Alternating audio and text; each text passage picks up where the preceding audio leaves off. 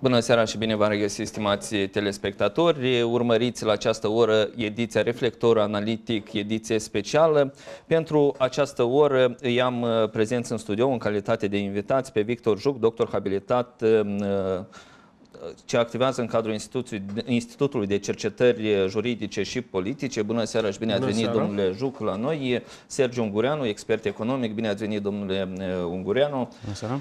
Stimați telespectatori, înainte de a începe propriu-zis discuția axată pe modul în care s-au desfășurat astăzi alegerile locale și despre rezultatele nemijlocit pe care sunt sigur că le așteptați și dumneavoastră, o să rog regia să pună pe post un subiect realizat pe parcursul acestei săptămâni, ce vizează de fapt datele unui sondaj făcut public pe parcursul săptămânii trecute, spuneam ceva mai devreme. Rog regia subiectul, după care revenim în studio la discuție.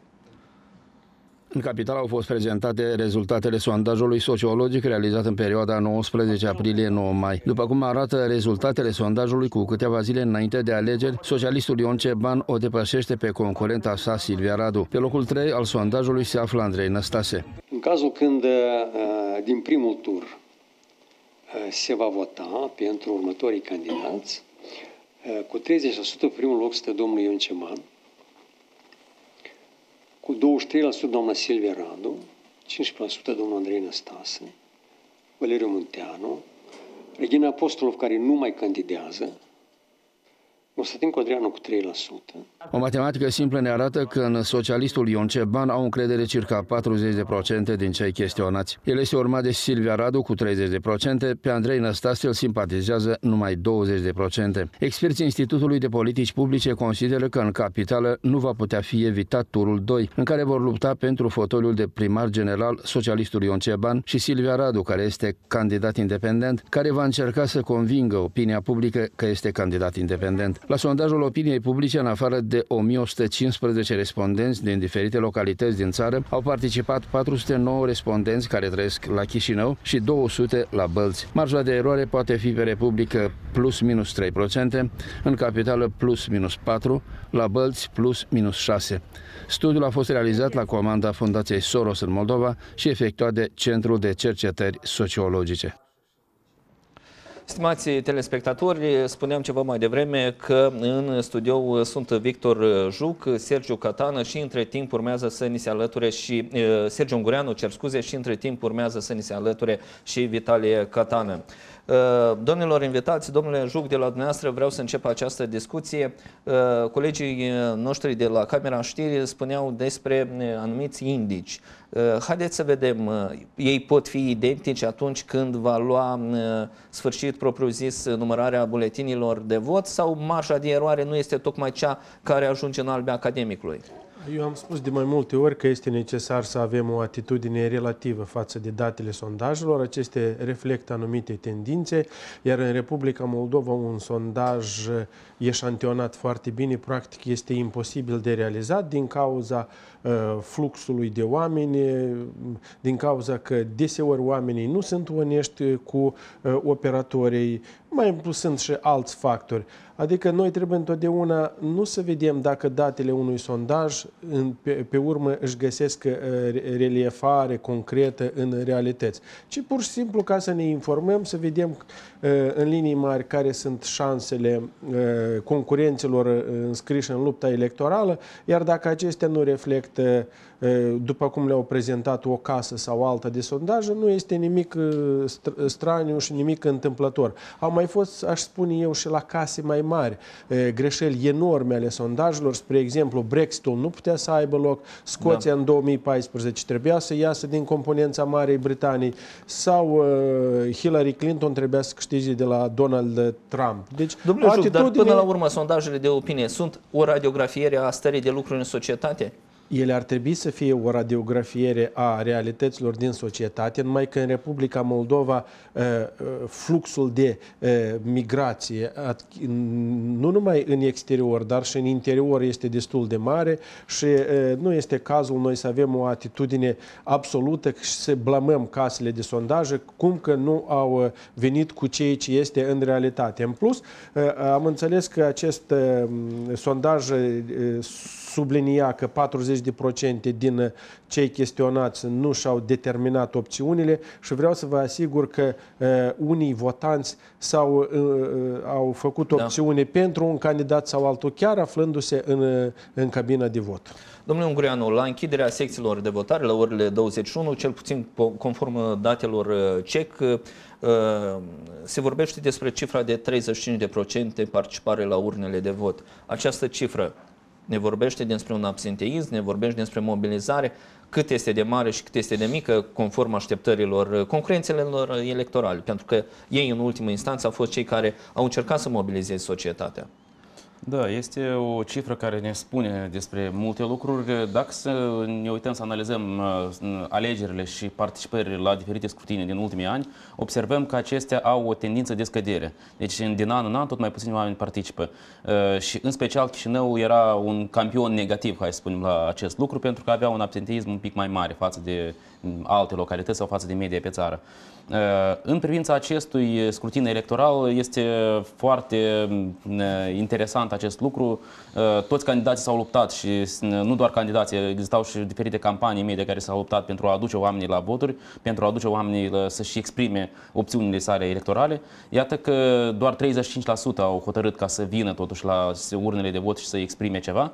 Uh, da, este un, vorbește un pic și despre neîncrederea cetățenilor în sistem în genere. Deci cum a ajuns uh, acest sistem de stat, acest sistem electoral, acest sistem care ne reprezintă astăzi și reprezintă puterea ca să nu mai aibă încredere, pentru că sunt diferite motive pe care oamenii le-au expus din, în diferite ocazii sau nu le-au expus, neîncrederea, în primul rând că votul său vor ajunge și va fi exprimat așa cum trebuie. Și însă și foarte mulți oameni cred că nu mai contează pentru cine votezi, că ei au acolo hotărât. Ceea ce este iarăși greșit și oamenii totuși ar trebui să vină să voteze, să participe, să-și exprime opțiunea sa electorală.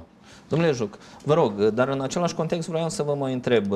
De fapt, majoritatea analiștilor politici s-au pronunțat asupra unui fenomen, pasivitatea tinerilor. Iată și de această dată ei au manifestat aceeași tendință. Cum se explică? Tinerii sunt tocmai cei mai indiferenți față de soarta de mâine a țării? Da, desigur că rata de participare la electorală de care s-a închis acum este cu 12% mai mică comparativ cu primul tur la alegerile din 2015. 15, da, din și dacă atunci, dacă atunci au participat mai mult de 296 de mii, acum avem 226 de mii. Deci au decăzut 70 de mii de, uh, de, de, de votanți. Aceasta este destul de mult. Și eu aș explica acest fenomen prin mai mulți factori. Unul deja a fost spus de domnul Ungureanu, neîncrederea oamenilor în actul de administrare, subliniind că nu va, uh, votul nu va contribui la nimic dar este într-adevăr greșit. Dacă cineva solicită de la autorități să rezolve o problemă, cel puțin el trebuie să participe la acest exercițiu. Chiar dacă votează pentru o persoană care din start era clar că nu va obține un rezultat destul de mare, dar trebuie de participat și într-adevăr absenteismul este unul uh, foarte mare. În al doilea rând aș vorbi despre uh, ceea ce îmi spune fluxul de migrație. Totuși, mulți oameni care se află în listele electorale deja poate nu se mai regăsesc în municipiul Chișinău, au plecat în peste hotare, undeva poate chiar și cineva vineri, cineva sâmbătă și iarăși se reflectă asupra sondajului. Într-al treilea rând aș vorbi și de ceea ce ați întrebat dumneavoastră, tineretul. Așa este o tendință în general, nu numai în Republica Moldova, dar și în, cel puțin în statele europene, că tineretul este mai puțin interesat de uh, problemele politice. Da, desigur că partidele politice au aripi de tineret, uh, mai sunt diferiți voluntari, mai există uh, societatea civilă, dar în, în linii mari tineretul nu participă, considerând da. că problemele vor fi rezolvate și fără ca ei să fie Domnule angajați. Juc, domnule Ungureanu, revenim la discuție. Am reușit să facem legătura telefonică cu reporterul nostru de la Comisia Electorală Centrală, Veronica Bacare. Bună seara! Care este starea de lucruri acolo?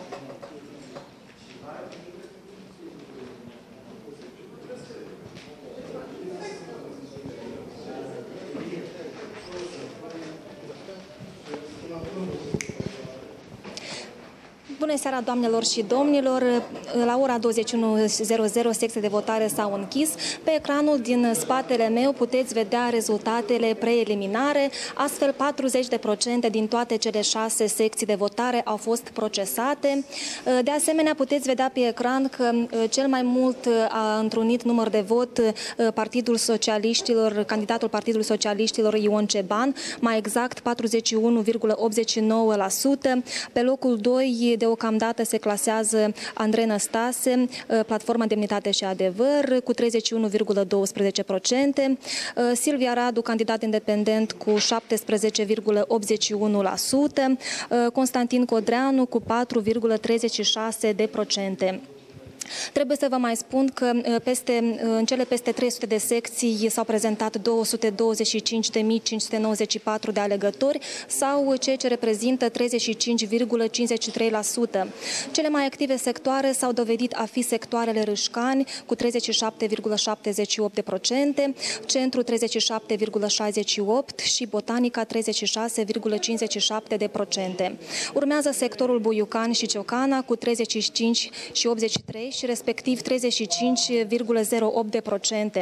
De asemenea, cel mai mic uh, număr de vot s-au înscris în suburbii, uh, este vorba de 30,94%. Totodată trebuie să vă menționez că la urnele de vot s-au prezentat mai mulți bărbați decât femei. Cei mai activi s-au arătat persoanele cu vârstele cuprinse între 56 și 70 de ani, iar uh, mai puțin interesați s-au arătat tinerii cu vârstele de la 18 la 25 de ani. Uh, dacă ar fi să comparăm rata de participare din anul 2015 cu cea uh, de astăzi, atunci putem spune că este o diferență de 13,15%. Uh, asta pentru că în anul 2015 s-a înregistrat o rată de 48,68%. Atât de aici, Vlad. Veronica, pentru aceste date, uh, domnilor invitați, revenim, haideți poate împreună să medităm asupra ceea ce uh, am auzit uh, noi. Domnule Juc, vreau să rămânem albia aspectul ăsta comparativ, 2015-2018. Da, în 2015 situația era foarte clară, pentru că erau doi favoriți, da. Dorin Chirtoacă și Zinaida Greceanului, Primul a obținut 111.000, cea de-a doua 105.000, prin urmare ambii au acumulat împreună circa 217.000, iar restul 69.000 a revenit celorlalți candidați. Acum porneau cel puțin trei favoriți. Eu consideram că avea diferite șanse și um, candidatul din partea partidului Șor, datorită celor magazine sociale pe care le-a deschis, dar dacă a fost exclusă din curs, a fost exclusă. Și prin urmare, lupta se dă între trei candidați. Eh, victoria lui, eh, sau aflarea pe primul loc al lui Ion Ceban nu este deloc o surpriză pentru nimeni, pentru că eh, Partidul Socialiștilor de regulă are un scor bun în capitală. Vom vedea cât va fi concretizat în cifre concrete. Scorul foarte bun înregistrat de Andrei Năstase ar fi pentru mulți o surpriză, pentru că așa cele sondaje despre care ați vorbit dumneavoastră, da. dar nu numai îi ofereau cu mult mult mai puțin. puțin, cel puțin cu 10% și din contra Silvia Radu cu 10% mai mult. Eu cred că uh, Silvia Radu a înregistrat un scor de, atât de modest din cauza a trei factori. În primul rând că nu, a, nu are un bazin electoral stabil cum au ceilalți, fie pe stânga, fie pe segmentul unionist, fie uh, Andrei Năstase care a ocupat segmentul uh, fost liberal și liberal-democrat, circa o treime. Al doilea ține că acele campanii duse împotriva ei, cum că ar fi ridicat niște salarii fabuloase, comparativ cu cei ce primesc mai ales oamenii de vârsta a treia sau în general oamenii, aceasta i-a jucat de asemenea o festă. Și al treilea factor este că totuși Chișinău se deosebește de teritoriu. În Chișinău prezența Partidului Democrat, prezența electorală este una minimală și această inițiativă totuși a fost, era clar pentru toți că Silvia Radu se erija în candidat independent European, dar era susținută în mod indirect de către Partidul Democrat. Da. Și aceasta a mai respins o parte din uh, potențialii votanți, considerând că este o inițiativă a Partidului de Guvernământ. Domnul Ungureanu, potrivit datelor pe care ne le-a oferit și colega noastră, uh, domnișoara Vacari, potrivit și datelor pe care ne le dă CECU, 42 întreg și 4% ar fi acumulat Ion Ceban. Asta din uh, 306 procese verbale, dintre care 149 deja sunt procesate. Uh, vroiam să vă întreb, se poate întâmpla să avem un singur tur de alegeri ca să se mai găsească pe parcursul uh, procesării celorlalte procese verbale încă uh, 10%? Păi, uh, știți, uh, este greu de spus, dar uh, este o probabilitate foarte mică ca asemenea lucruri să se întâmple. Cam toate sondajele dădeau faptul că niciunul din candidați, nici cel favorit, care este da. indiscutabil Ion Ceban, nu acumula acele 50% care sunt necesare pentru a învinge. Deci, în mod sigur, va fi turul 2. Surpriza cea mare și ceea ce se observă acum este anume că, contrar tuturor acelor sondaje care erau vehiculate puțin mai devreme, cu săptămâni în urmă, unde pe locul 2 ieșea candidatul Silvia Radu, acum vedem că candidatul este care este pe locul Năstase. 2 este Andrei Năstase. S-ar putea să se schimbe Andrei apoi... Năstase cu 31 întreg și 2%, Silvia Radu 17 întreg și 7%. Este o diferență destul de mare și chiar să, a, să încerce acum, nu știu, anumite elemente ale puterii să facă o altă numărătoare, cred că va fi foarte greu. Și aici vedem în mod sigur că un candidat care nimeni nu se aștepta sau avea toate sondajele de până acum, cele care erau, dădeau că el va fi pe locul 3, deci aceasta nu s-a adeverit. Deci încă o dată spun că acele sondaje care ni le prezintă trebuie să ne uităm foarte bine cum ele sunt făcute, pentru că un eșantion de circa 600 de oameni pe Chișinău, pentru că erau și din Bălți, erau și din alte localități, este foarte nereprezentativ. Deci matematic vorbind și când spuneau că eroarea de plus minus 4%, hai să adunăm matematic cifrele și vedem că eroarea aceasta practic le strică totul dintr-un eșantion atât de mic. Al doilea lucru este că fiecare din aceste sondaje erau prezentate într-un anumit context de, și erau finanțate de anumite elemente, hai să spunem, loiale puterii. Și asta iarăși mai spunea încă foarte multe. Uh, domnule uh, Juc, uh, haideți să degajăm poate un pic această discuție până, prin, prin următoarea afirmație.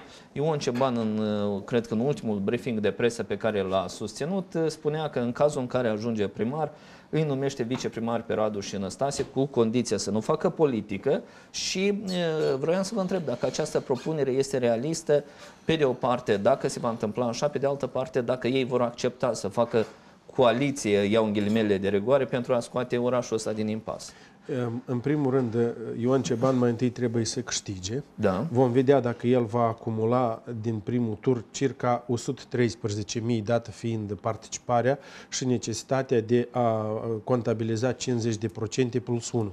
În al doilea rând, el poate, dacă va câștiga, poate să vină cu această propunere dar în al treilea rând, cred eu că niciunul, nici altul nu va accepta. Uh, în plus, um, totuși este capitală și a spune că nu faci deloc politică este foarte dificil, pentru că totuși uh, capitala se deosebește de o uh, localitate rurală cu 2-3 mii de alegători, mai ales în contextul că totuși candidații fără Silvia Radu au ținut undeva în subconștient că vin și alegerile parlamentare și poate deseori aceste cuiva i-a ajutat, iar cuiva nu i-a ajutat. Ehm, sigur că propunerea este interesantă, dar irealizabilă pentru că uh, toți vor face politică, mai ales uh, un tandem Andrei Năstase Ion Ceban este, este imposibil, iar Andrei Năstase, dacă va pierde alegerile și dacă nu va fi turul 2, iar în turul 2 el va porni ca favorit, chiar dacă Ion Ceban acum se află pe primul loc, el își va canaliza toate eforturile spre parlamentare. Îi spunem uh, bună seara domnului Catană, bine ați venit uh, la Reflector Analitic ediție specială. Bună seara, bine v-am găsit. Uh, domnule Catană, raportat la alegerile de astăzi, vroiam să vă întreb, chiar în dimineața acestei zile, colegii noștri din media au titrat că exista o problemă a listelor electorale. Și când zic lucrul ăsta, într-un spațiu locativ figurau 15 persoane. Ca să începem această discuție cu dumneavoastră, cred că în fiecare campanie electorală revenim la ceea ce se numește liste electorale. De ce și de această dată, nu știu, metaforic vorbind, calcăm pe aceeași greblă? Sau este un caz unicat? Cum îl vedeți dumneavoastră? Sigur că este o problemă și ar trebui rezolvată. Pentru asta există și tehnologii specifice care sunt accesibile și eu nu cred că trebuie să insistăm neapărat pentru că Uh, și de data asta nu cred că vor exista probleme de viciere a rezultatului de așa manieră încât să vorbim despre alegeri uh, eludate, ca să nu folosesc cuvântul uh, fraudate. Eu, sincer să fiu, am fost dezamăgit de campania electorală în general și rezultatele. De ce? Spuneți. Pentru că, iată, vedeți, și inclusiv și, și în ziua de astăzi se discută lucruri care uh, Uh, iertați-mă, dar nu au legătură cu problemele uh, orașului. Și chiar mai devreme vorbeam de la o altă televiziune despre absenteism uh, și eu explicam treaba asta prin faptul că în toată campania electorală, pe de o parte pentru că ați vorbit de mesajele politice și este adevărat ce spune colegul, că în Chișinău e foarte greu și este imposibil. Trebuie să acceptăm că mesajul politic, geopolitic, ideologic, el va persista, dar pe de o parte el a fost, din păcate, simplificat până la extremă, iar pe de altă parte s-a întâmplat treaba asta pe fondul lipsei abordării în general a problemelor de urbanism ale Chișinăului. Să nu uităm, da, politica este politică și în Chișinău, dar Chișinău este oraș care trebuie administrat și are probleme grave, nu că probleme, dar grave de urbanism. Și eu în toată campania electorală n-am auzit nici pe unul din candidați să abordeze în mod serios problemele da. orașului. Asta Domnule Catan, eu vă rog să da. memorizați gândul, pentru că în legătură telefonică cu noi este uh, domnul Postică, Uh, de la Promolex. Uh, bună seara, domnule Postică! Bună seara! Uh, astăzi, în cadrul emisiunii Reflector Analitic, ediție specială, discutăm despre alegerile locale și, evident, vrem să aflăm care sunt constatările pe care le-a făcut Promolex și să vă întreb care sunt cele mai grave încălcări de la urnele de vot. În principiu, dacă să luăm din punct de vedere statistic, ca incidență, cele mai multe cazuri se referă, raportate de observatorii Promolex, se referă la deficiențele în listele electorale semnalate de alegători pe parcursul zilei alegerilor. Am avut peste 80 de semnale în 80, ce 80 de secții de votare, în care alegătorii au uh, semnalat uh, astfel de probleme.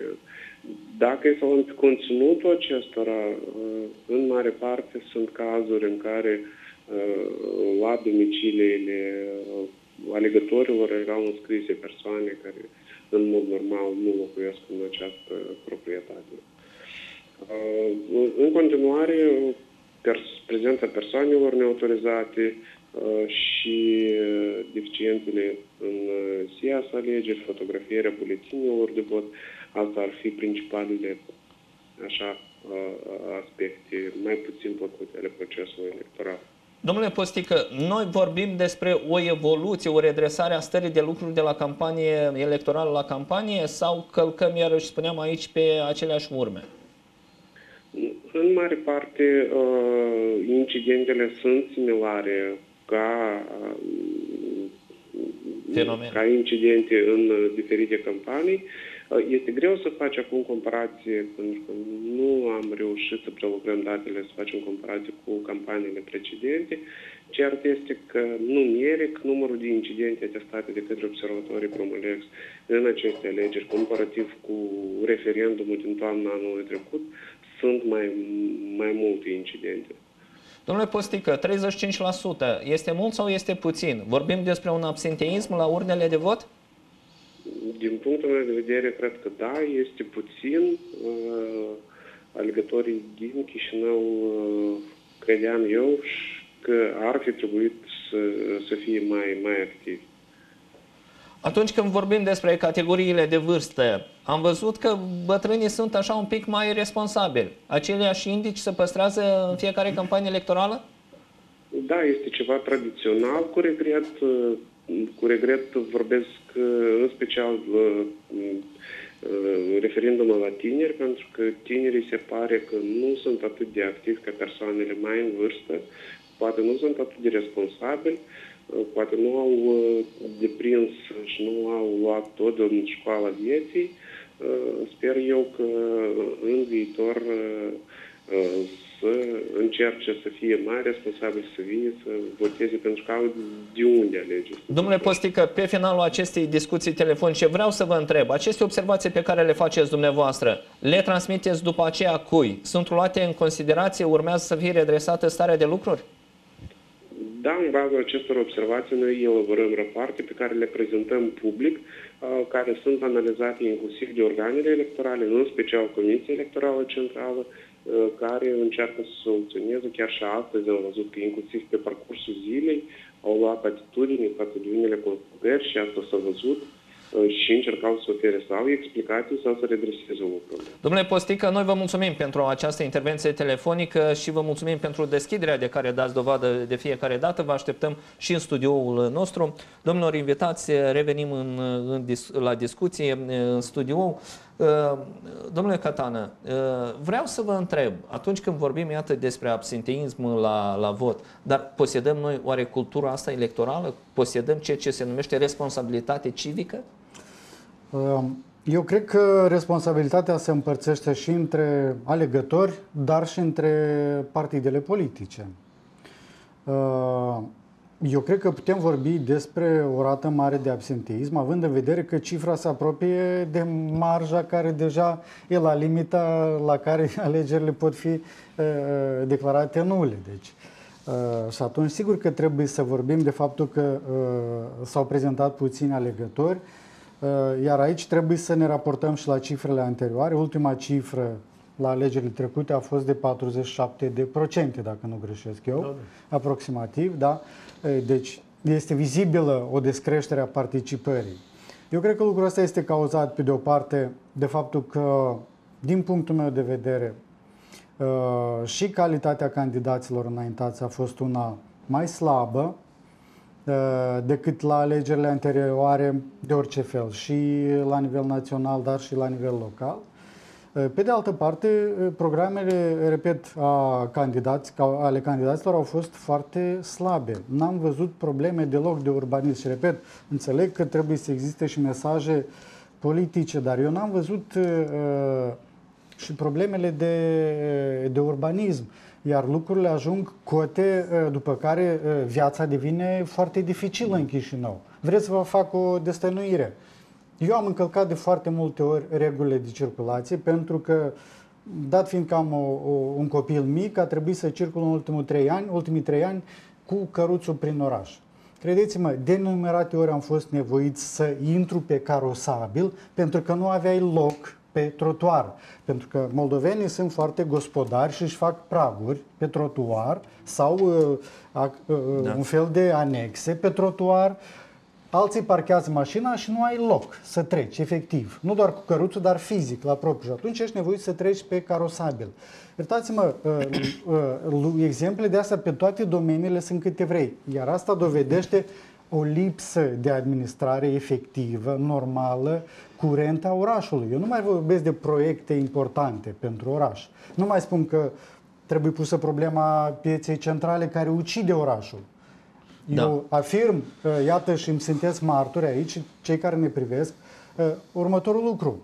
Nu va fi Chișinăul oraș decent, autentic, oraș în adevăratul sens al cuvântului, atât timp cât avem piața centrală din Chișinău în perimetrul străzilor armenească, Ismail, Ștefan cel Mare sau uh, Alexandru cel da. sau uh, probleme de, de, de transport, uh, câte vrei. Da, Niciuna nu am astea... văzut abordate de către candidații care au participat în alegeri. Iată aici vreau să-l întreb pe domnul Juc. Domnul Juc, ce facem cu suburbiile? Am văzut colega noastră de la CEC ne-a prezentat uh, date uh, raportate și la suburbii. Până la urmă, ele sunt uh, cele care, într-un mod sau altul, decisive. Ele sunt cele care spun un cuvânt greu. Nu. În, în Chișinău s-a venit la o concluzie că suburbiile hotărăsc uh, soarta alegerilor din cauza că acolo sunt uh, mai mulți uh, votanți, iar da. numărătoarea se face mai greu. Și dat fiind că rezultatele din suburbii vin la sfârșit, atunci și se spune că ele hotărăsc. Dar dacă rezultatele ar veni primele, atunci ce va schimba? Dacă suburbiile au fost uh, plasate în uh, circumscripția municipiului Chișinău, să rămână. Dar dacă nu, poate de, de organizat un referendum local, de văzut ce gândesc locuitorii orașului și ce gândesc locuitorii suburbiei. Eu cred că nu este aceasta problema principală. Ea mai degrabă devine o problemă politică atunci când un candidat pierde, când un candidat are mai puțin suport electoral în suburbii și spune că, iată, cei din suburbii nu mai au, nu cunosc realitățile din oraș. Din contră, eu mi se pare că în proporție mai mult de jumătate locuitorii suburbii dar dumneavoastră în această campanie electorală ați văzut discursuri politice bine puse la punct sau ați văzut promisiuni care vroiau să atragă cât mai mulți concetățeni? În campanie electorală au fost două tipuri de mesaje. Unele ce țin de problemele locale și într-adevăr da. au fost expuse multe lucruri bune, iar viitorul primar general, chiar dacă are timp de un an, ar trebui să le contabilizeze pe toate și să încerce să le implementeze în măsura posibilităților. Dar aici sunt propuneri fezabile, dar sunt propuneri absolut irealizabile și nu știu cine i-a sfătuit pe candidat să vină cu așa niște idei cum ar fi, spre exemplu, cu piața centrală. Cu, nu cu piața centrală, Gara. naționalizarea și trecerea în, în, sub jurisdicția municipiului Chișinău aeroportului, ceea ce este practic imposibil. Da. Apoi, dar sunt și, au fost foarte multe mesaje de nivel național, care nu țin de problemele locale. Eu îi dau dreptate colegului Vitalie Catană, pentru că alegerile locale trebuie să contribuie la rezolvarea problemelor locale. Dar aproape toți candidații concurenții electorali, susținuți de experți, de analiști, au subliniat că alegerile sunt cruciale pentru, spre exemplu, demontarea sistemului. Alegerile locale nu pot să contribuie la demontarea sistemului. Alegerile locale trebuie să contribuie la rezolvarea problemelor locale, inclusiv piața centrală, ambuteiajele și tot ce este în, în Chișinău. Iar rata de prezență a tineretului, eu, dacă aș spune că în toată lumea este așa sau în lumea, în Europa, Europa poate nu tare mult ne-ar încălzi, dar așa este tineretul astăzi. Aceasta mai este fost... tendința de Eu aici, dacă da. îmi permite da. domnul Juc, o fost... paranteză, totuși de data asta rata este una este dis, foarte mare diferența între, pentru că da. anterior sigur că erau uh, diferențele mari între uh, electoratul mai în vârstă și electoratul mai tânăr. De data asta, cifrele sunt uh, cam uluitoare. 1 la 10 rezultă. 10 la, jur da. de 10% rata de participare. Iar electoratul cel mai în vârstă, să nu uităm că s-a format în perioada sovietică și atunci era toți o la alegeri, într-o 1986, într-o 1990, în 1981 și practic era prezența cu sau fără voie. Da. Acum, desigur că nu mai putem spune sau cineva propune ca în Grecia sau ca în Ecuador să-i pedepsim, să-i amendăm. Dacă omul nu vine la alegeri, probabil el a considerat Vreți așa. Spui ceva. Da. Domnule Ungureanu, astăzi în acest studio am auzit în repetate rânduri o noțiune, fenomenul migrației. Este el, el un element atât de uh, primordial în societatea noastră care a influențat sau influențează într-o oarecare măsură datele alegerilor?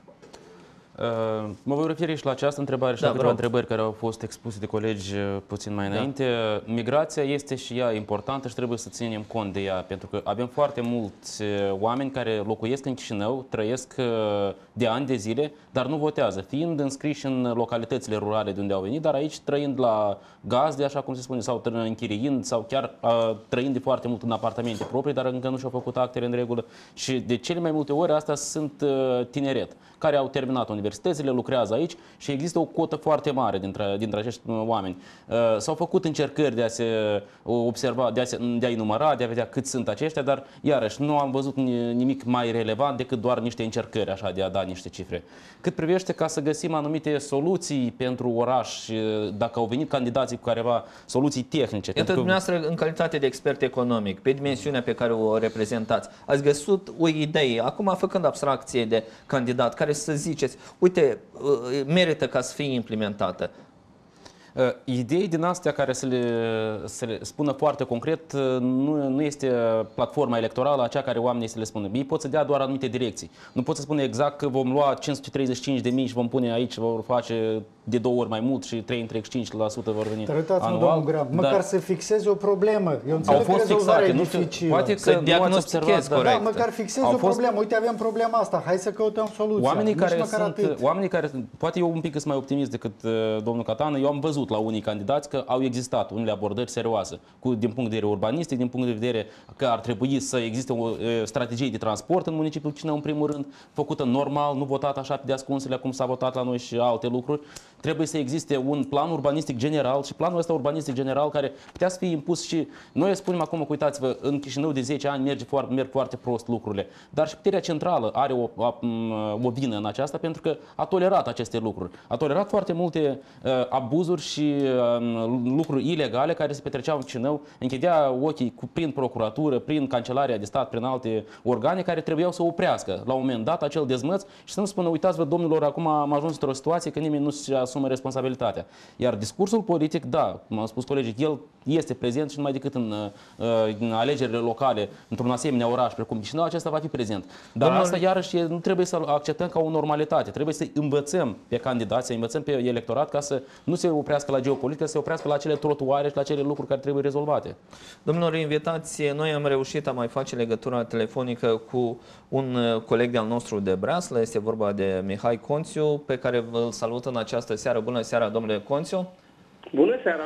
Iată, s-ar părea că la această oră la care discutăm noi avem deja primele date ce țin de rezultatele alegerilor de astăzi. Liderul rămâne a fi Ion Ceban cu 41,62%. Vreau să vă întreb, în ce măsură acest prognostic era uh, vizibil, era de așteptat și uh, dacă pe locul 2 într-o oarecare măsură v-ați așteptat ca să fie Andrei Năstase și doar pe locul 3 cu 17 aproximativ la sută este Silvia Radu? Nu, predictibilitățile mele se îndreptau în cu totul altă direcție decât în cea pe care o vedem acum. Mă rog, configurată, că încă nu, încă nu, am, nu avem de-a face cu numărătoarea finală a numărilor de voturi exprimate, dar era, era logic, era previzibil ca ceva să fie pe, să fie pe locul 1 pentru că este argumentat electoral.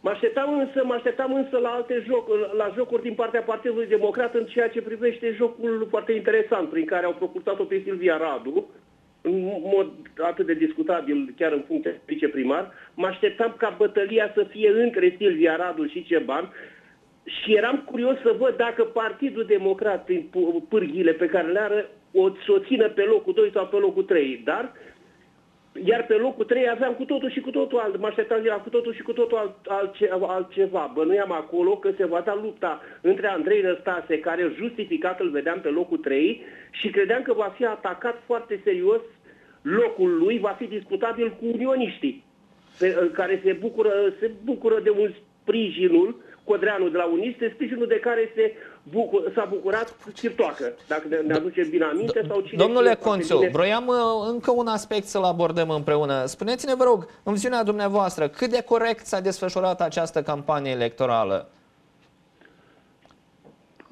au fost și mizerii firește și se înscrie totuși, se înscrie totuși în... Uh, Când ziceți acest... mizerii, vă referiți la atac la persoană, vă referiți la tot felul de uh, scheme, poate vă referiți aici și la uh, acel candidat care a fost exclus? Ce aveți în vedere?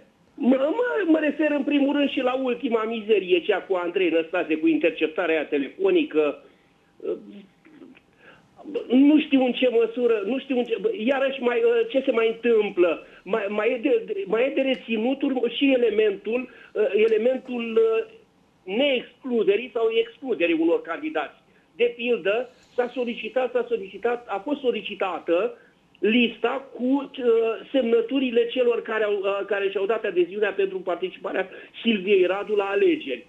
Și li s-a refuzat. De ce? Pentru că dacă se făcea public acest lucru, se constata lezne că semnăturile alea au fost luate așa din, uh, din, din aer. Domnule Conțiu, eu vă mulțumesc pentru acest punct de vedere pe care l-ați exprimat. Vă aștept în studioul Reflector Analitic. O seară bună pentru dumneavoastră. Uh, domnule Catană, cel care urmează să câștige, indiferent care va fi, uh, vom vedea ce va spune Comisia Electorală Centrală, pentru acest candidat înseamnă asigurat fotoliul de primar pentru următorii 5 ani? Nu neapărat. Este un mandat pentru un an deocamdată. De și... aceea și întreb. Uh, și da, Acordăm este... Uh, o doză de încredere pe termen lung? Păi, uh, vedeți, s-ar putea să fie o victorie uh, pentru un an și dacă nu reușești măcar să creezi niște așteptări, să dezamăgești și să pierzi. Și lucrul ăsta poate fi foarte crunt pentru da. acel perso- acea persoană care va câștiga în asemenea manieră, astfel încât să piardă peste un an. Ar fi dezamăgitor și ar pune sfârșitul vieții, iar pune punct vieții politice. De asta, victoria asta, într-adevăr, este o campanie și sunt niște alegeri cu miză, dar pe de altă parte cu riscuri foarte mari pe care trebuie să le ai în vedere uh, și în momentul în care ajungi să fii numit primar acolo, după uh, realizarea uh, formalităților, să reușești să... E adevărat, într-un an sigur că nu poți să, să rezolvi multe lucruri, dar măcar să pui pe făgaș sau să punctezi acele probleme pe care consider că trebuie rezolvate Uh, și să o faci de o manieră convingătoare, astfel încât oamenii să aibă încrederea că poți să o faci în următorii patru ani care vor veni după uh, acest an. Și repet, sunt probleme, realmente, iată, iarăși mai spun una, locuiesc chiar în zona proximă și îmi permit să o spun. Vă rog. Uh, de exemplu, problema transportului și nimeni nu se gândește la asta, nimeni nu se gândește la oraș în complexitatea lui. Ori problemele sunt mai grave decât li se par unora. De exemplu, iată, eu locuiesc în zona telecentrului și realizez că uh, trăiesc pe o axă care leagă sudul, pentru că tot sudul vine pe Asaki, Halipa, Ismail, leagă spre gara de nord, care leagă uh, axa spre ieșirea spre nordul Republicii Moldova din Chinou. Pe această axă, deci ai două gări, ai centrul da. orașului și ai, uh, deci am vorbit de, de uh, piața agricolă centrală, ai și piața agricolă centrală care aglomerează foarte mult orașul. Cum rezolvi? Treaba asta. Când tu toată viața, nu doar a Chișinău, dar a Republicii Moldova, concentrezi în această zonă, aglomerezi și creezi o, via- creezi o viață infernală pentru cetățeni. Da. Deci sunt probleme și de asta eu mă aștept ca să existe un primar care să puncteze lucrurile de asemenea manieră și împreună cu experți, cu oamenii care se pricep și cu cetățenii, desigur, să încerce să găsească și soluții. Domnilor invitați, vreau să fac publice, iată, 238 de procese verbale au fost procesate din 306, datele sunt următoare, următoarele Ceban 41 întreg și 44, Andrei Năstase 31 întreg și 7 și Silvia Radu 17 întreg și 64. Domnule Juc, vreau să vă întreb, reieșind din ceea ce spunea domnul Catană, viitorul primar, ceea ce reușește să facă, Uh, succesul viitorului primar este în strânsă legătură cu de, sau mai bine zis, de relația lui cu Consiliul? Pentru că uneori ieșeau scântei. Da, desigur, au fost pe timpul lui Dorin Chirtoacă au fost scântei, cu Silvia Radu a reușit puțin să fie o altă situație, vom vedea cum va fi cu actualul sau cu cine va câștiga. Sigur că lui Ion Cebană îi va fi mai ușor, lui Andrei Năstase îi va fi cu mult mai e, dificil, dar e, nici de cum nu înseamnă că e, cel care va câștiga îi se asigură un mandat pentru 5 ani. E, poate se vor face anumite comparații între ce a făcut Dorin Chirtoacă, ce a făcut Silvia Raduș, ce va face e, următorul. Mai depinde, cred eu, într-o anumită măsură și de rezultatele ale alegerilor parlamentare, mai ales pe fondalul retoricii care există, dar cred eu că în cifrele care le-ați prezentat nimic nu se va mai schimba și turul 2 va fi inevitabil. inevitabil. Da. Atunci când vorbim, iată, despre uh, aceste date, vroiam uh, să vă mai întreb uh, o chestiune foarte interesantă ce ține de activitatea lor. Uh, la începutul campaniilor se tot vehicula că la final urmează să se retragă X, Y în favoarea Z, uh, mergând pe scenariul de la prezidențiale. Nu s-a prea adeverit. Eu, eu am spus că nu este cazul să se adeverească, pentru că pentru mulți uh, concurenți electorale, reprezentanții partidelor, a fost un test pentru alegerile naționale și fiecare au văzut cam aproximativ de cât suport electoral beneficiază în capitală, beneficiază în bălți. În, în general, în Republica Moldova s-a creat o impresie distorsionată față de alegeri locale și față de alegeri parlamentare. La locale se fac blocuri, se retrag, iar la naționale toți pretind stau morțiși până în ultimul moment, ceea ce este, nu este corect în opinia mea. Blocurile electorale da. se fac la prezidențiale, la parlamentare, iar la locale fiecare își testează forțele, își promovează un consilier, își consolidează pozițiile într-o localitate sau în alta. Nu, eu nu m-am așteptat ca nimeni să se retragă, pentru că nu-i cazul, chiar dacă mulți dintre cei înscriși în cursa electorală înțelegeau că nu vor obține nici practic un procent.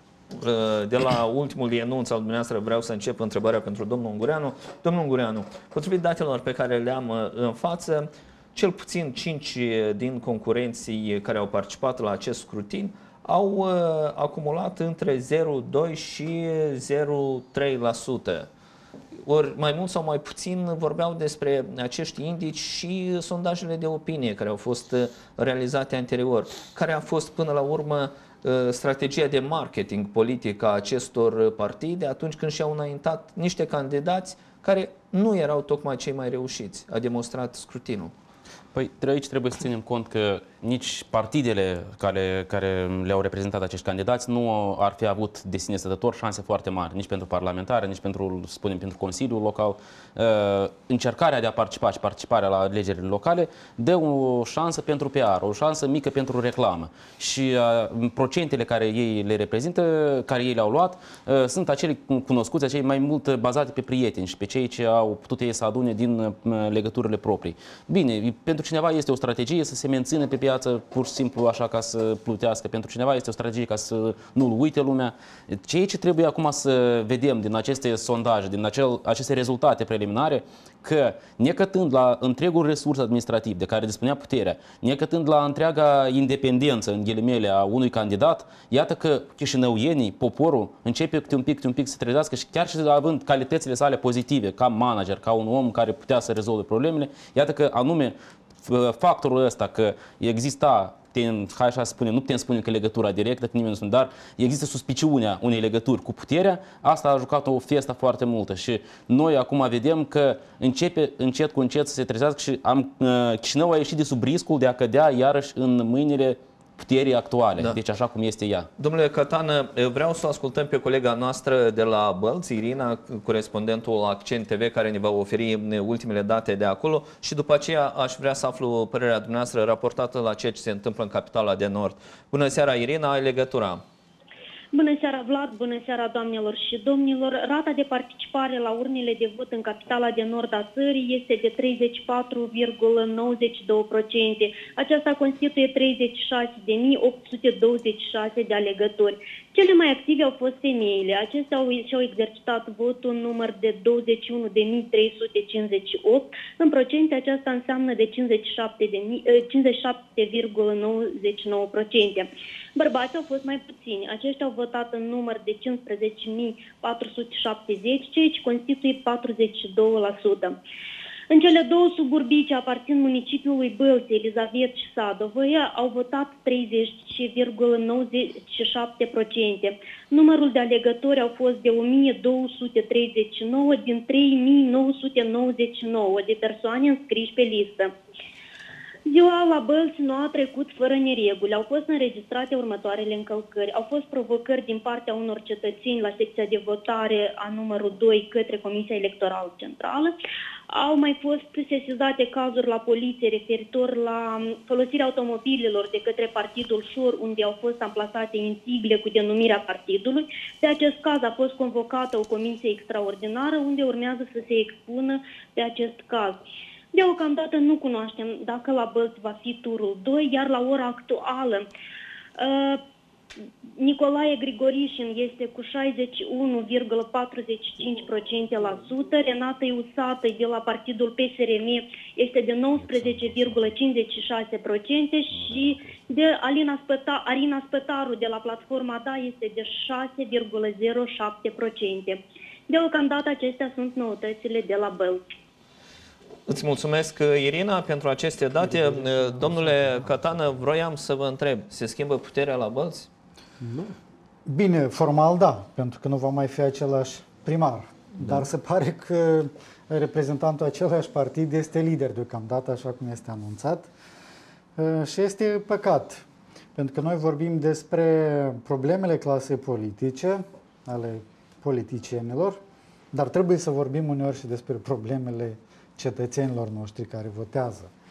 Și atunci când uh, și cetățenii persistă într-o eroare, sigur că trebuie să vorbim despre faptul că uh, culpa pentru situația pe care o avem probabil este împărțită și între politicieni, dar și între cetățeni.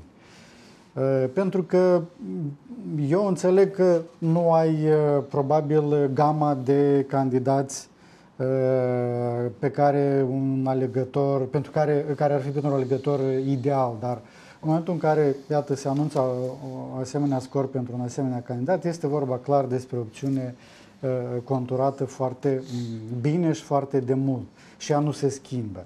Repet, este păcat pentru că sub administrația lui Usatăi uh, Bălțu nu a arătat bine și nu cred că va arăta bine, mai bine în continuare trendul se va păstra. Uh, și aici este acel caz când trebuie să spunem că și cetățenii sunt responsabili pentru uh, soarta orașului lor, a comunității în care trăiesc și a condițiilor. Da. Păi, dragilor, dacă vă plângeți că vă este prost uh, traiul de ce insistați cu aceiași candidați, cu aceiași oameni în continuare în alegeri? Domnilor invitați, mai avem, cred că, trei minute în cadrul acestei emisiuni. Eu cred câte un mesaj de un minut pentru, pentru final. Domnule Juc, spuneți-ne, vă rog, atunci când vorbim despre alegeri locale versus alegerile parlamentare, până la urmă există acea interdependență logică, cel care a câștigat sau va câștiga, mai bine zis, uh, primăria capitalei, asigură un plus valoare partidului pe care îl reprezintă în viitoarele alegeri? Nu în măsură în cei care s-ar dori să se creadă, dar uh, totuși va fi folosit în scopuri propagandistice pentru a fi un mesaj de mobilizare și de încurajare. De atât noi avem câștiguri pe bandă rulandă sau noi începem lanțul câștigurilor, dar nu întotdeauna este uh, o legătură logică între uh, punctul A și punctul B. Cât despre Bălți, dacă îmi permiteți,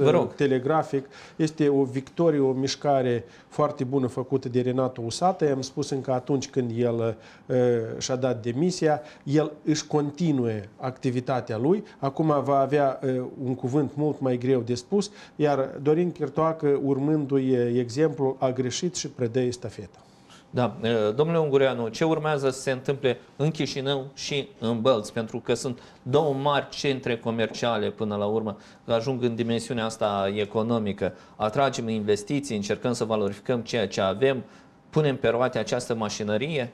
Deci, în primul rând, aș vrea de la noua administrație să vină cu o abordare nouă, deci, cum au spus și colegii aici, să se lucreze. Exact pentru rezolvarea problemelor, nu pentru geopolitică, nu pentru ca să vedem cu cine prietenim și a cui tancuri vin peste noi, iarăși cu acele sperietori cu care suntem obișnuiți, cu toate că în turul 2, în mod sigur, să folosi iarăși aceste sperietori geopolitice, pentru că ele aduc întotdeauna venit. Aș vrea ca noua administrație să vină, să vină cu rezolvări concrete, să asculte de experți, să asculte de societatea civilă, să discute discute și aceasta va crea un uh, teren pentru rezolvarea problemelor existente. Și sperăm să avem o campanie electorală în turul 2 mult mai curată, mult mai normală și fără probleme geopolitice și sperietoare. Domnule Ungureanu, avem uh, legătura telefonică cu colega noastră, Veronica Bacar de la CEC. Vrem să aflăm ultimele date de acolo, după aceea aflăm și punctul de vedere a domnului Catană. Bună seara, Veronica, care este starea de lucruri?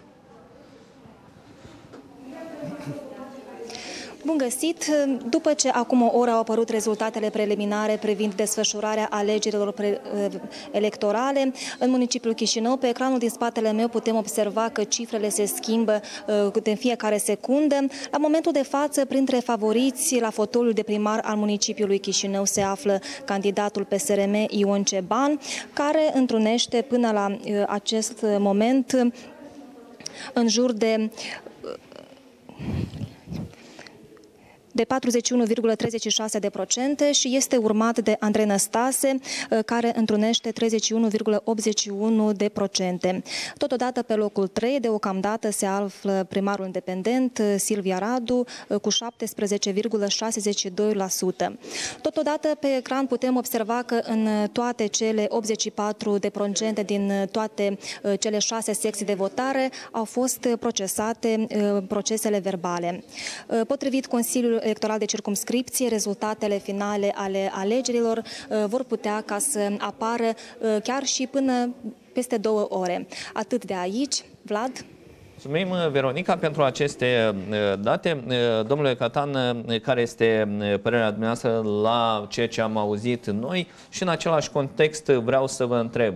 Este un record, cel puțin în alegerile locale, când un candidat independent ia atât de mult, 17 întreg 69. Da, pe de o parte este un scor bun, pe de altă parte sigur că nu este scorul așteptat de candidatul respectiv. Se prefigurează o ecuație, dacă datele da. se rămân așa cum sunt, o ecuație foarte interesantă, diferită iarăși de alegerile anterioare.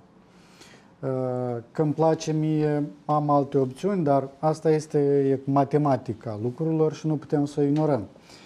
Uh, deci dacă în alegerile anterioare aveam ecuația relativ simplă în care votul uh, era uh, unul canalizat pe două curente și uh, aveam uh, în turul 2, uh, să spunem, uh, reverimentul unui candidat care acumula uh, voturile de pe segmentul de dreapta în speță și reușea să câștige împotriva unui candidat de stânga, fie Dodon, fie uh, Greceană. De data asta lucrurile arată diferit pentru că, de exemplu, dacă trece Andrei Năstase, nu-l văd luând voturi Uh, de la unioniști, deci pe de o parte nici Codreanu nu cred și nici, uh, sigur ăștia nu își vor da votul pentru Ion Cioban, dar nu cred că vor da votul uh, neapărat pentru Năstase și atunci nu-l văd pe Năstase în postura pe care au avut-o alți candidați anterior care au câștigat împotriva unui candidat de stânga. Arbitru rămâne Silvia Radu și iarăși rămâne o situație cu întrebări nu cred că dânsa își va canaliza voturile spre un candidat sau altul și atunci e interesant este acest interesant. Peisaj. Nu vreau să dau da. verdicte, da. mă abțin, dar da. cam asta Domnule este. Juc, Valeriu Munteanu 3 întreg și 63. Da. Asta înseamnă că Partidul Liberal pleacă din primărie, Slavă pleacă Domnul. din istorie? Valeriu Munteanu este în general o persoană foarte bună, bine pregătit, cu bună experiență, dar de data aceasta el nu are noroc de partid, în 2005, în 2006, în 2007 era în ascensiune, în 2009, acum el este într-o decădere totală, ca și de fapt alte partide din axa de guvernare sau din opoziție din, din 2009, alături de liberal-democrați, alături de comuniști și Partidul Liberal, desigur că practic s-a epuizat în momentul dat și eu nu aș vrea să spun că este un apus și nu va reveni, dar este foarte dificil de a determina care factor va fi ca să contribuie la refluxul acestui partid. Probabil se va solicita plecarea liderului de partid, eu nu știu dacă el va dori să plece, dar cert este, și nu este nicio surpriză pentru nimeni, că uh, Valeriu Muntean în cazul dat este mai bun decât uh, partidul, iar oamenii n-au votat pentru ca să nu continue aceeași politică, aceeași strategii și tactici care au fost pe timpul lui Dorin Chirtoacă. Dar asta ar însemna că după parlamentare și scorul acumulat de 0 întreg și nu mai nu se va exact schimba dictate, cu nimic. Nu se va schimba? Nu se va schimba nimic.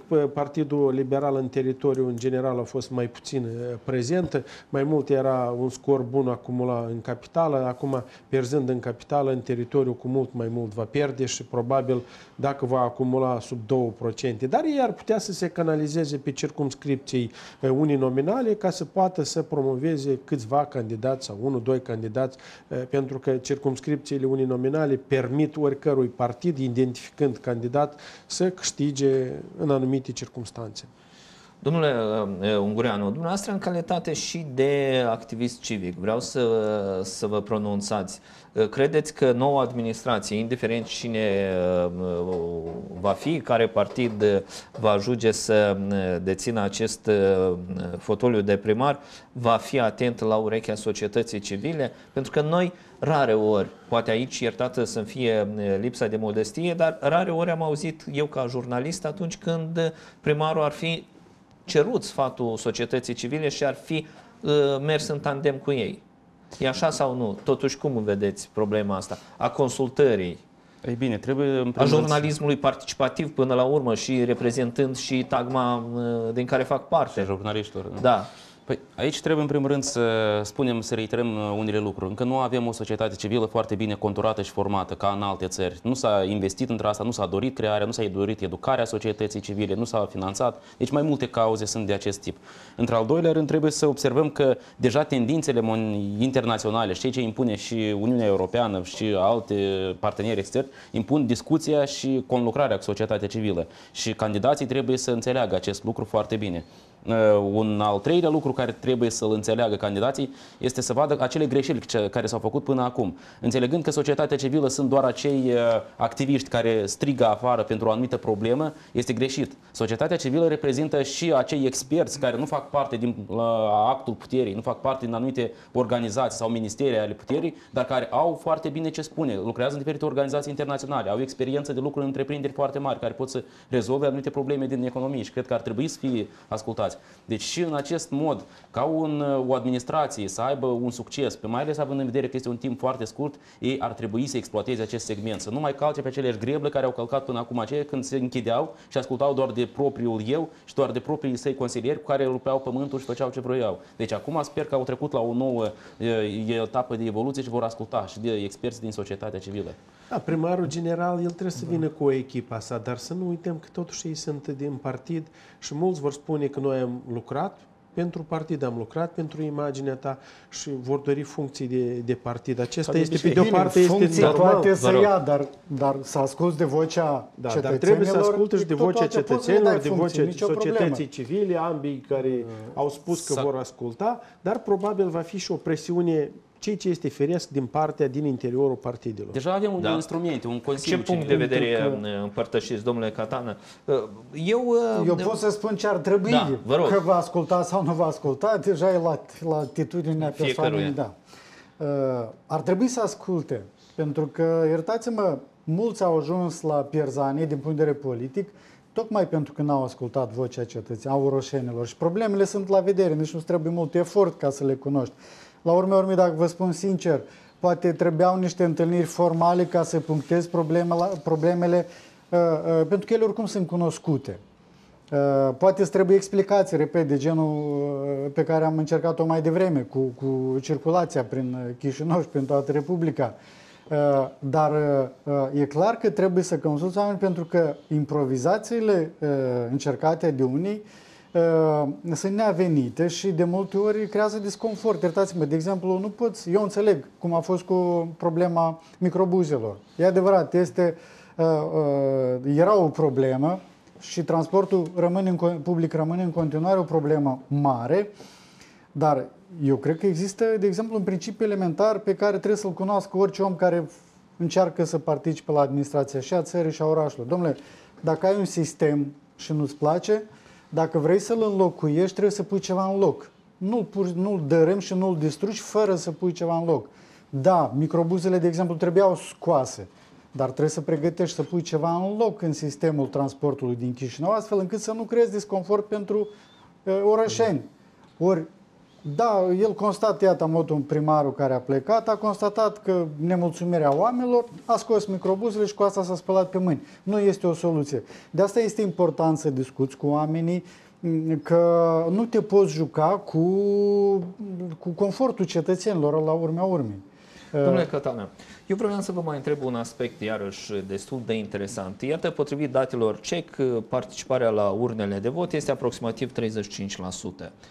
Uh, un naiv în ceea ce uh, se numește democrație ar întreba în felul următor. 35% decid soarta a 100 de procente? Este logică această abordare reieșind din ceea ce este democrația?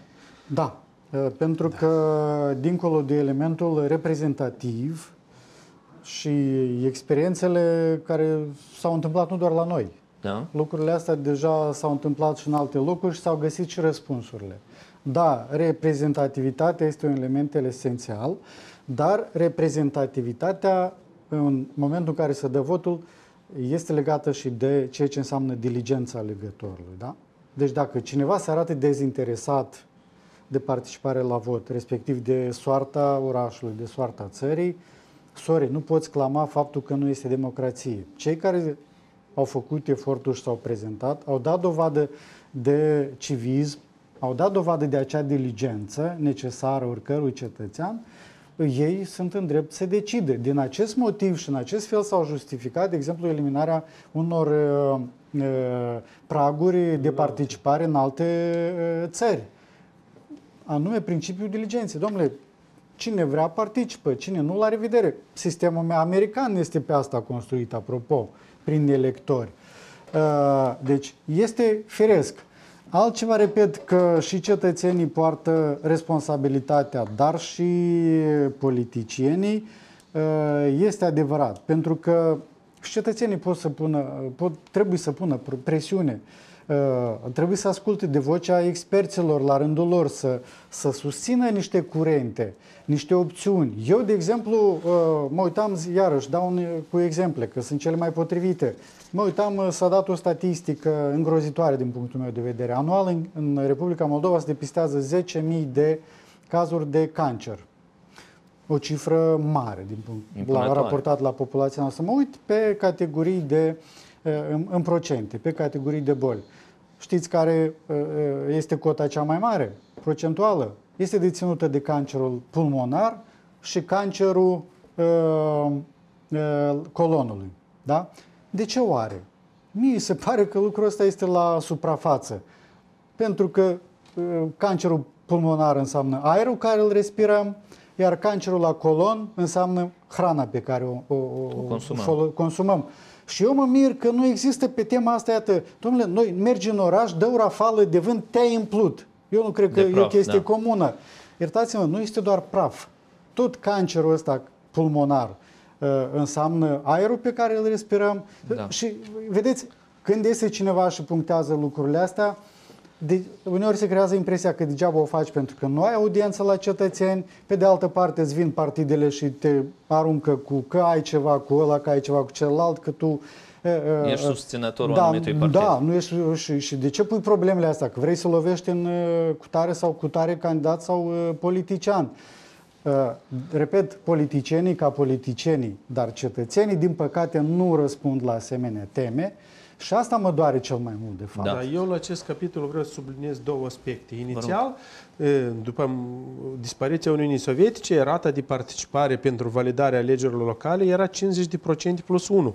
Într 1995 nu s-au produs alegeri pentru, din cauza ratei mici de participare în acel moment. Apoi să ne aducem aminte, în 2006 au ieșuat alegerile de două ori, două, da, două tentative câte două tururi și s-a uh, coborât rata de participare la 25%. O pătrime din Da, asta e primul aspect. Era al doilea aspect. În general, în, și în statele Uniunii Europene există următorul, următorul tablou. La parlamentare participă de la 55, 65, 70 de procente, la locale în jur de 40 de procente, la europarlamentare în jur de 30 de procente am spune că noi suntem în aceeași tendință cu rezultatele de astăzi, dar nu este bine pentru că totuși cât mai mult participă, cu atât voința electoratului este mai bine exprimată. În Europa da. și o altă la noi. Deci da. da. Sigur că da. Stimați telespectatori, țin să reamintesc datele pe care ne le oferă CEC. Avem 283 de procese verbale din 306 procesate. Datele uh, sunt următoare. Andrei Năstase 31 întreg și 84 de procente. Ion Ceban 41 întreg și 28 de procente și Silvia Radu 17 întreg și 67 uh, de procente.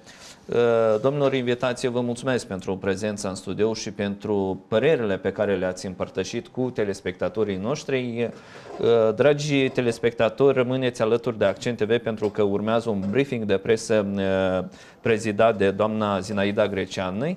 După aceea, ștafeta o preia colega mea, Margareta Răducan, cu care veți afla ultimele noutăți în ceea ce privește datele de la Comisia Electorală Centrală și sper că tot în această seară veți afla cine este, dacă va trece din primul tur noul primar al capitalei. Așa că rămâneți alături de noi. Noapte bună!